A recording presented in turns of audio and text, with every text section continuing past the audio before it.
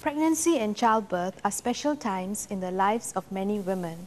Along with the physical changes of childbearing and giving birth, a woman may also go through emotional changes as she prepares for motherhood. While many would feel happy and excited, it is also common to experience other mixed emotions. Some may be struggling to cope with a pregnancy. Others may be anxious and overwhelmed with the enormous responsibilities they feel caring for and nurturing a new life. About 3 to 5 out of 100 mothers who recently delivered will develop postnatal depression of at least moderate severity that require clinical attention.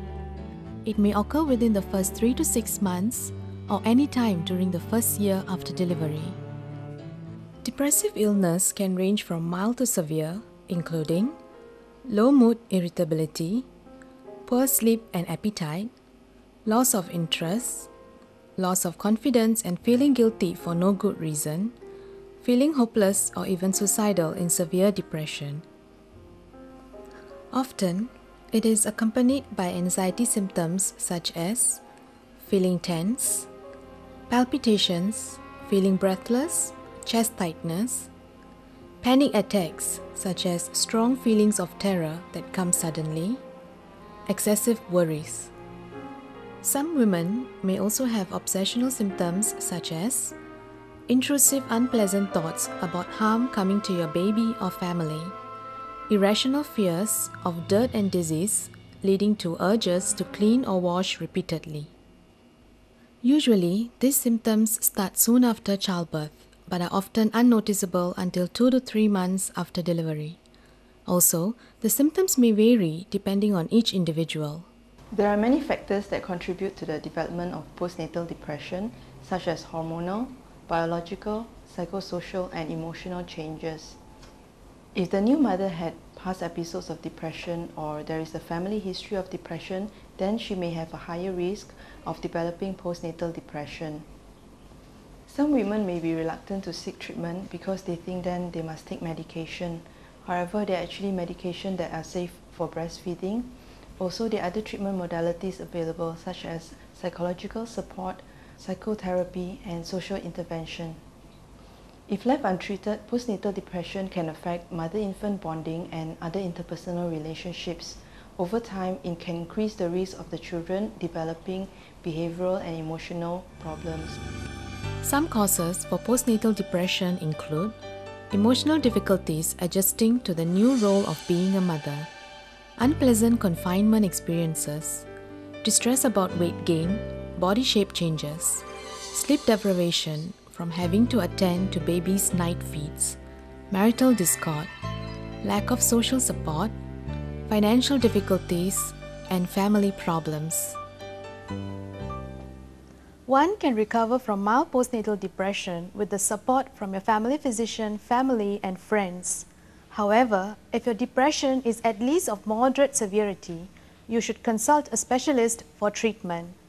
Delaying treatment can affect not only your well-being, but also the cognitive and emotional development of your infant. 6 tips for keeping emotionally well during and after pregnancy. Getting into a routine. Planning your activities around your baby will help you feel better in control of your life. Do allow flexibility to changes as an infant's feeding and sleeping patterns may change over time. Taking care of yourself. Allow time for yourself to rest or to do little things that you enjoy. Eating well and exercising.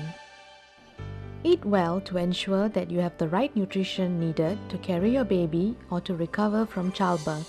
Talking to someone. Talking to your husband, friend, a doctor or counselor about your thoughts and feelings is also a great way to release your pent up emotions. Writing your thoughts down. Penning down your thoughts and feelings in a diary can help you to gain better perspective of what happened and how things have affected you. Getting people to help. Coping with pregnancy or a newborn can be an enormous stress for many people. Do not be embarrassed about getting the help that you need. You would need to rest and conserve your energy for you and your baby.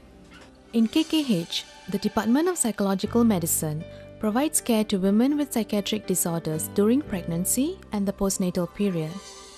Treatment includes interpersonal therapy, which focuses on interpersonal relationships, and cognitive behavioral therapy, which addresses faulty thinking. We also have support groups where women can share their difficulties and learn coping strategies from one another. When the depression is more severe, medication may be required. If you are pregnant and had depression in your last pregnancy or find it difficult to cope with your emotions, we recommend that you seek advice from your gynecologist or the Department of Psychological Medicine.